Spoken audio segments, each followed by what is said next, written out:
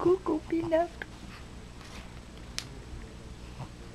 Coucou Pinop. Elle était dessous, complètement dessous. Hein, Pinop